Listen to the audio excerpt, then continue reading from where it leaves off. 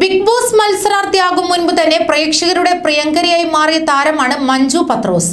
Television പരമ്പരയിലൂടെ ജനപ്രീതി നേടിയ താരം മോഹൻലാൽ അവതാരകനായി എത്തിയ ബിഗ് ബോസിൽ മത്സരാർത്ഥിയെത്തി മികച്ച പ്രകടനമാണ് കാഴ്ചവെച്ചത്.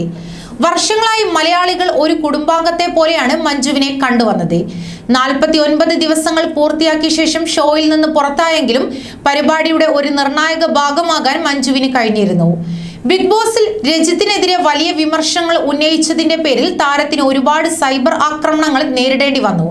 കുടുംബത്തെ വരെ മോശമായി വിമർശിച്ച് പലരും രംഗത്തെത്തി. ബിഗ് ബോസിൽ നിന്നും മടങ്ങിയെത്തിയ താരം പുതിയ പരമ്പരയിലൂടെ മിനിസ്ക്രീനിലേക്കും വ്ലോഗിലേക്കും മടങ്ങിയെത്തുകയായിരുന്നു. അലിയൻസ് എന്ന കോമഡി പരമ്പരയിലൂടെയാണ് മഞ്ജു ഇപ്പോൾ പ്രേക്ഷകർക്കിടയിൽ നിറയുന്നത്. ഇപ്പോൾ ഇതാ മഞ്ജു പങ്കിട്ട ഒരു വീഡിയോയാണ് സോഷ്യൽ മീഡിയയിൽ ശ്രദ്ധ നേടുന്നത്. മഞ്ജുവിന്റെ വാക്കുകളിലേക്ക്. ഞാൻ മഞ്ജുവാണ് അളിയൻസിലെ തങ്കം. വീട്ടിലും തങ്കമായി ഇരിക്കാമെന്ന് വിചാരിച്ചിട്ടാണ് ഈ വേഷത്തിൽ എത്തുന്നതെന്നും മഞ്ജു പത്രോസ് പറഞ്ഞു തുടങ്ങുന്ന വീഡിയോയാണ് വൈറലായത്.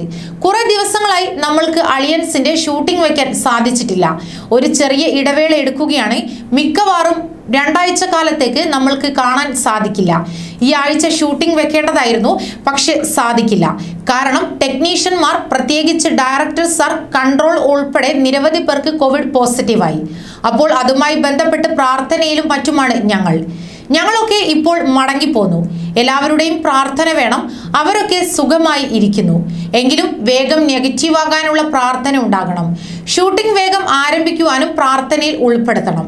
എത്രയും പെട്ടെന്ന് ഞങ്ങൾ തിരിച്ചു വരും. ടെലികാസ്റ്റ് ഉടൻ ഉണ്ടാകുമെന്നും മഞ്ജു പറയുന്നു. ഞങ്ങളെ കണ്ടില്ലെന്ന് വെച്ച് മറന്നു പോകരുത്. ഞങ്ങൾ ഉടൻ തന്നെ തിരിച്ചെത്തും. ഇതുവരെ തന്ന പിന്തുണ ഇനിയും ഉണ്ടാകണമെന്നും മഞ്ജു ലൈവ് വീഡിയോയിലൂടെ വ്യക്തമാക്കി. നടൻ റിയാസ് ലൈവ് വീഡിയോയിലൂടെ എത്തി ഇടവേള എടുക്കുന്ന കാര്യവും പിന്തുണ ആവശ്യമുണ്ടെന്നും വ്യക്തമാക്കുകയും ചെയ്തു.